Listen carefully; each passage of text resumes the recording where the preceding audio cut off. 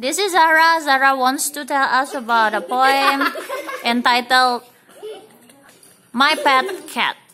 Let's go. my pet cat. My cat's name is Pet. He is very fat. He loves to chase a rat and hates to wear a hat. He loves to drink milk. He likes to play with silk.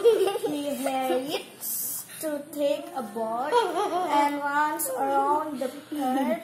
He listens to me when I talk and follows me when I walk. He is very cute, but his dress never cute. His fur is very white.